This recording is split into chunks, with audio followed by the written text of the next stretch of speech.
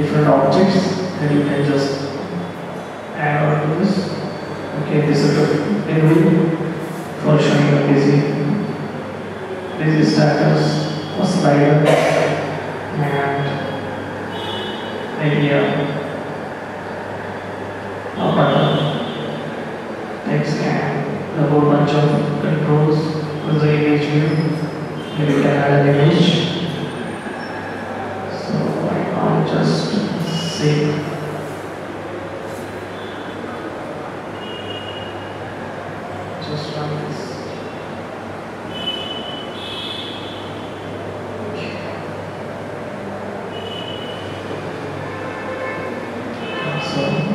it. Yeah, so coming back, so all our UI is defined in the XIB file. So just now we went ahead and added some stuff to the XIB. So even the XIB file is actually an XML based file. So we'll go back and check how the XIB file looks in external editor.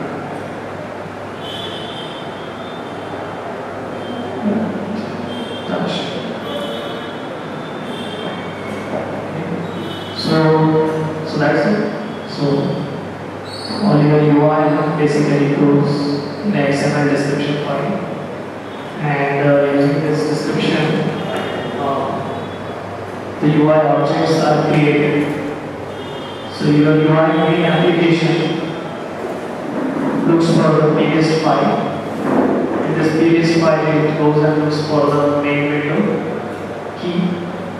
Corresponding to the main window key, there is a file name of the resource file. So if you call it anything other than, other than window or XIB, then you just need to go and make change in your plist here. Okay, so coming back to coming back to the flow. So your UI application looks into the plist. And uh, it runs a loop for listening to messages that are there for your window. I'll just close this.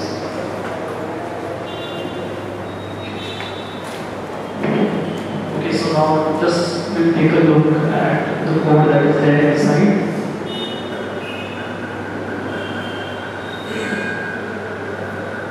So there is a app delegate class code that is generated for you. So this is where notifications to your applications uh, they come. Just define a class and uh, it extends NS object and it implements the interface your application delegate. So that is how the so UIApplicationDelegate is a protocol. Okay, uh, whatever is in Objective C. So UIApplicationDelegate is a protocol, and there are different methods for that. In the .m file,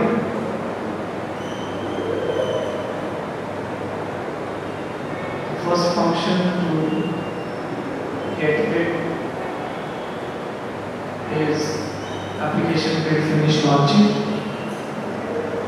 At this point, uh, we can make initializations. What are the initializations we need to make? And there are different notifications for application entering into the background, application again coming back into the foreground, uh, becoming active, or it is about to get terminated.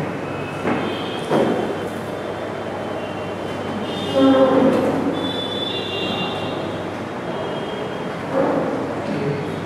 So, so that is one of the class that is generated. So that's it in this in this code. Now if we wanted to add some more view into this. So let me go ahead and uh, make another app cross fit that.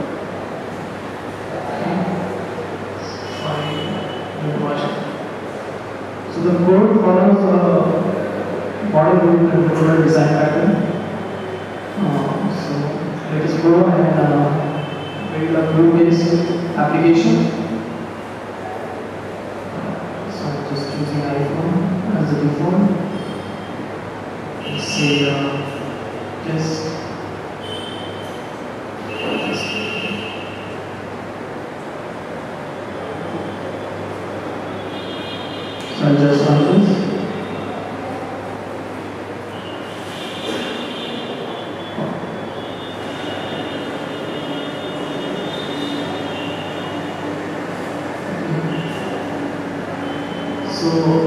your application, uh, you have a window and inside your window you can go on loading views as many views as, as you want. So in this app there's nothing uh, much difference except for the fact that inside the application window you now have one view that was loaded. So there is a class generated for the controller for the view.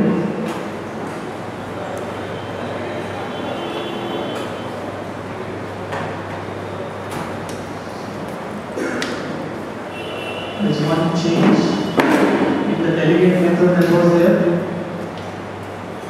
In the application build finish launching,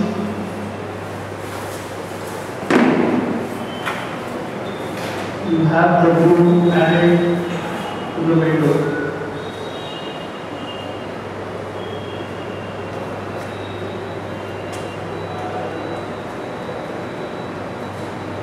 Okay.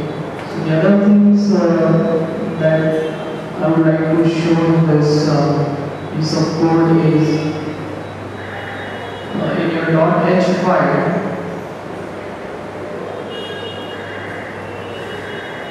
you have the interface defined and in your .m you have the implementation for that particular class. Uh, synthesize actually generates uh, getters and setters for the variables. So just saying add synthesize window will generate a method called as set window. So that can be called anywhere from your code.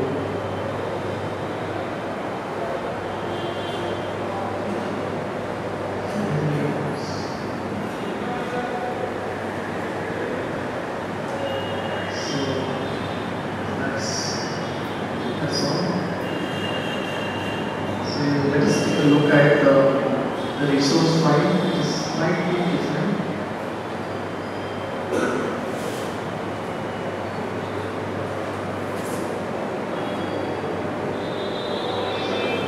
Close this. So initially, uh,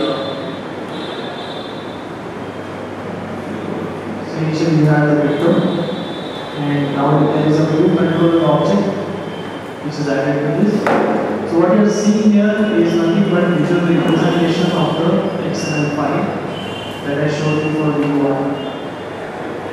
So if we uh, check the details of this. So this is nothing but class SQL controller.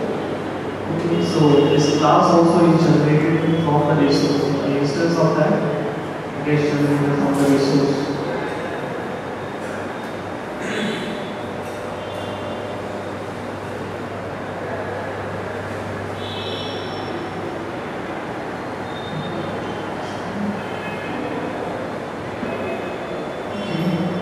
So, so every view that that is there, which has got a controller, and there is a base class for controllers called UI controller.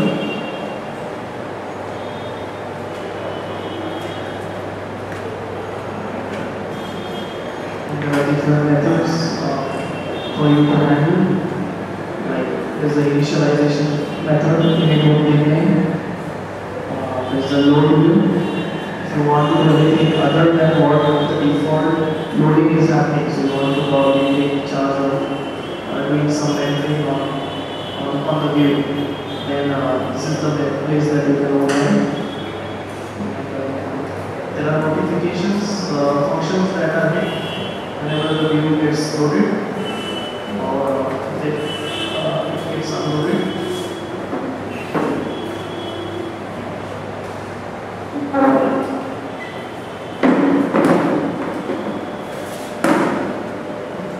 so uh, to get this build running on the device, uh, you basically need uh, the registration done on the Apple website, and after that uh, you get access to uh, the portal. From the portal, uh, it is possible for you to register the device that you have. So right now the device that I have is registered, so I can uh, just combine and get this uh, on my device. So earlier I just made some change uh, to the exciting.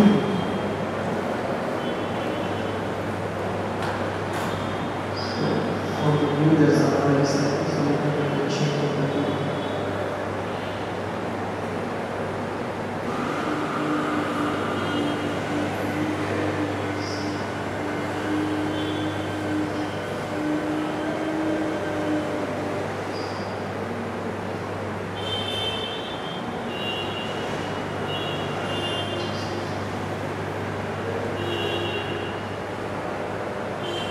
So I just combine this first for simulator and uh, then get it on the device. Okay, there we are set. So then getting on the device, uh,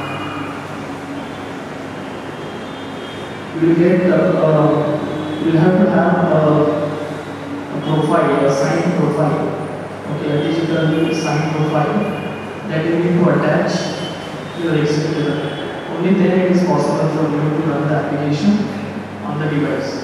So once you are a registered member, then only it is possible for you to get this uh, thing. So right now, I am having this uh, profile.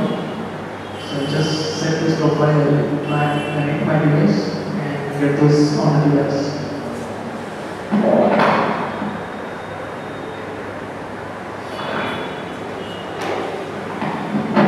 uh, sort of do that, so maybe I can just keep on talking.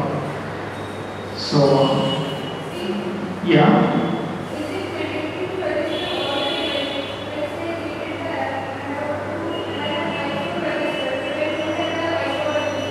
Okay.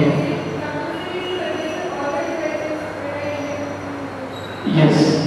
So when you are a registered member, uh, you get access to a portal site on developer.apple.com. On, on that site, you need to register uh, your device with the serial ID that it has got. So it will a device certificate. Uh, also, uh, you will need uh, a certificate from your desktop saying that this is the desktop that I am compiling. So your uh, desktop certificate and your device certificate plus every app needs a certificate. So you get an app, app certificate. So you combine all these three certificates and you generate a provisioning profile. Okay, so right now what I am showing you here is called a provisioning profile. So I need that. So I can set the provisioning profile on the device and uh, then when I sign my app, then it is possible to uh, have it executed. So yes, if you have a new device, then you need to go to the site and register the serial ID and then only you can start using it. Okay, uh, so yes, are you there? Okay, so I just change it from simulator to device and uh, also put on.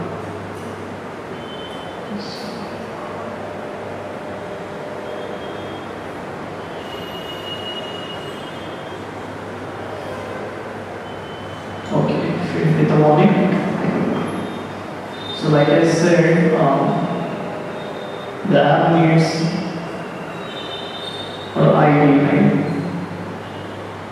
So I need to give that.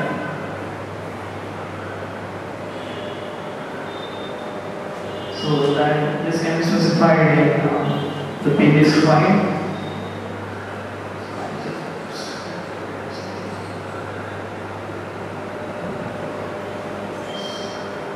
So I go to run.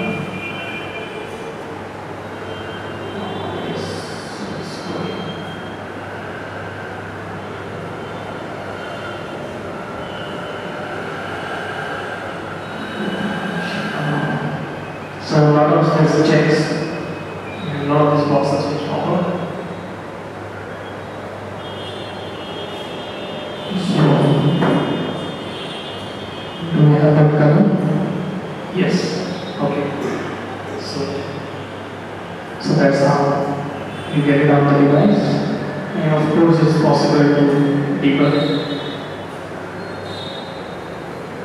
Just copy this. So you can just place breakpoints. Place breakpoints, you just have to hit a marker on this area. And you and say.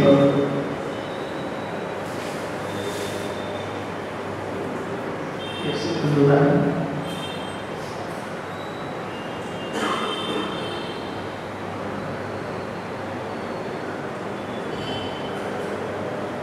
It's not being locked.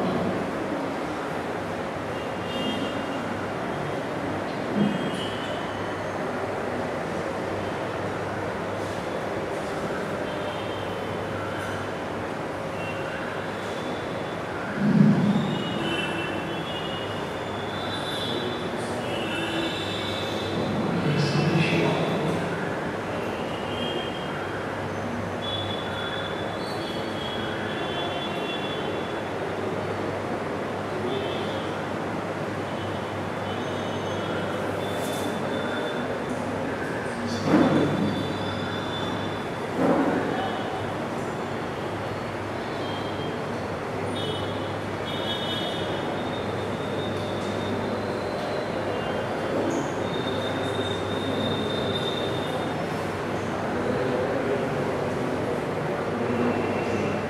Okay, Think I'll much of the time. Let us try it once. Uh, I think some seems to be some issue because I've been trying a lot of stuff on the machine. So we'll just give it one more shot.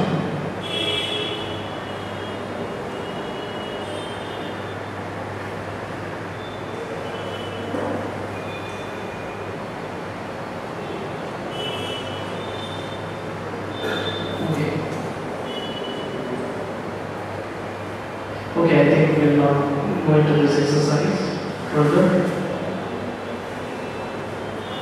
So coming back. We already uh, on the simulator. We had it running on the device, debugging the data. So, so I won't take much of your time now. Now, the other thing is uh, you want to get this app uh, uploaded the App Store. So in iOS, uh, once your application is ready and you have access to the portal, so let's uh, uh, this uh, web portal uh, uh, called iTunes Connect. Okay, so you can get access to that, and it's possible for you to upload the binaries, and they appear on uh, iTunes uh, for everyone to see. So, so that's another uh, set of processes. So you have to just uh, with some things like uh, provide some artwork and images uh, for your app, description, uh, maybe some other details like the product page and other things. And uh, so once you uh, give that on the App Store, um, they take probably a week or so, uh, depending on whether your application is good enough. So there's some criteria, they have a set of guidelines. So if you're violating uh, any of that, then um, it's likely that you're happening um, uh, um, going. Okay. So, so design, designing. So there are some guidelines for that. So I'll just quickly go to that page and uh, just quickly uh, uh, do that.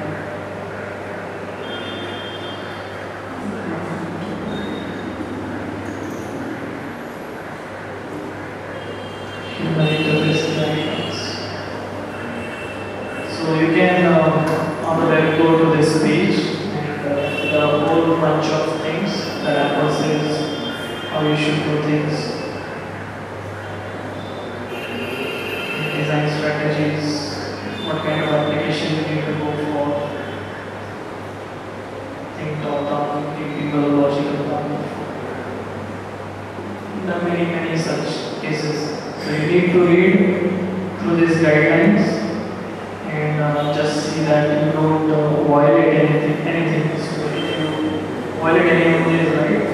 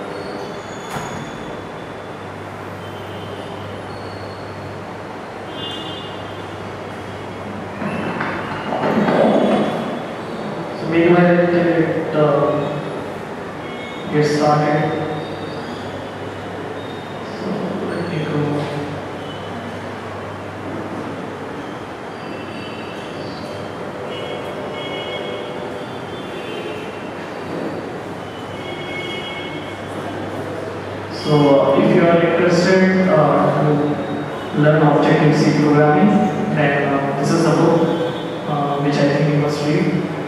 Uh, it's very simple. So if you want to take a note of it.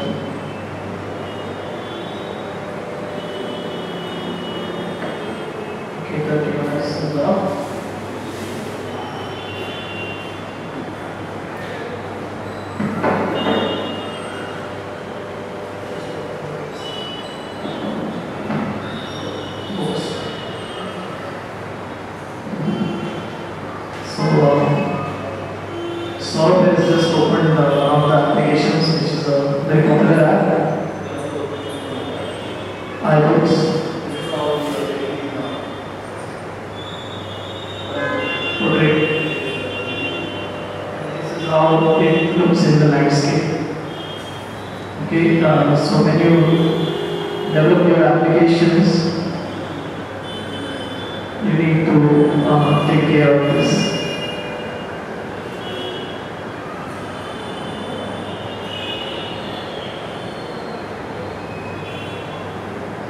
So uh, I think that's that's all. So is there any questions? If you have, then I can take them.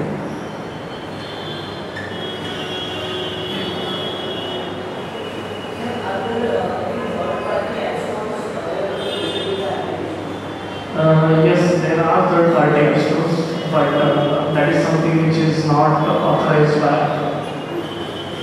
Okay, so let me tell you. Uh, earlier, when uh, some years back when I was uh, doing the mobile development like for Windows CE, if we had an app developer, then we didn't know where to sell it, right? Because to sell you have to reach a person. And that was only possible uh, by some companies which had online shops, just like your Amazon, eBay. Okay, they were online shops. And what they did was they took their binaries and uh, they did all the money handling stuff. And then you had a sales guy with you who has to constantly check different stores where your app, apps are hosted. So let's say we have a uh, online site, online app site in US. So it's only known by the people out there. Okay, so there are a lot of such online shops. Now they are slowly closing down because almost all vendors they have realized uh, that's very difficult for the user like, to find the shop, get the app. It's always good to have a single place like uh, like the app store from where user can download stuff. And Apple has gone even one step ahead and they are giving a rating and all that thing so that with all the clutter of applications like the best applications is, is kind of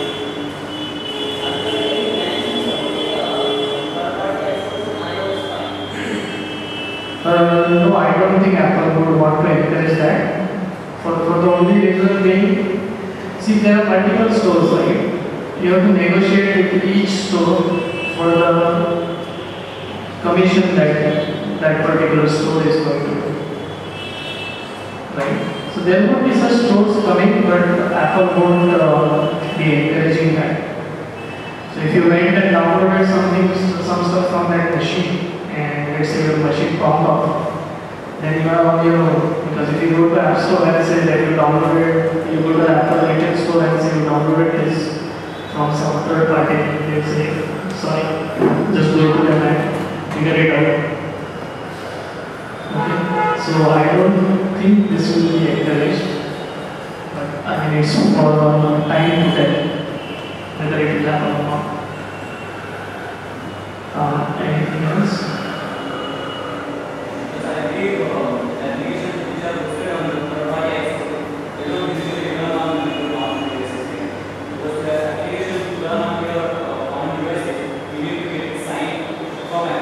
Yeah.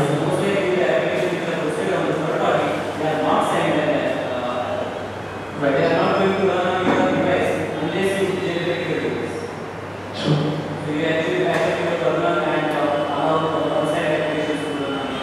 So basically, you take the operating system and you just crack it up and then you start using it.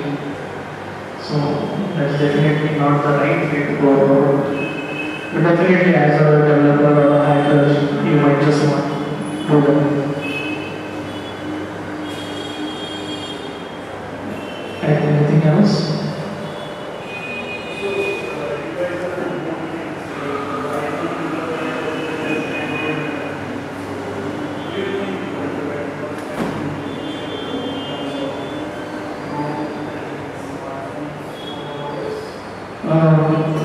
Um, it's very uncertain to say uh, whether it would be Android or it would be iPhone.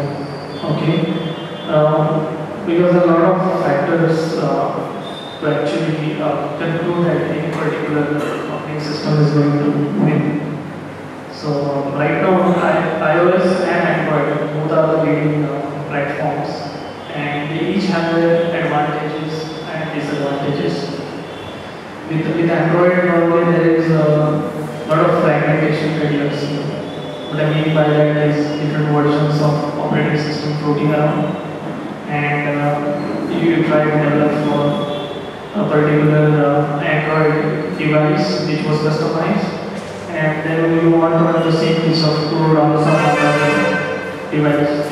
Like the second device has a different resolution, right? And different set of hardware and other things. And there is some level of customization that you need you need to do right? So, so will agree with. So there is some customization required. Whereas there's no such thing for iPhone uh, developments. Uh, they're just fixed resolutions for uh, your iPhone and your iPad. And uh, you don't have to think about some XYZ developing another version to wanting to support that. So that's the advantage side of it.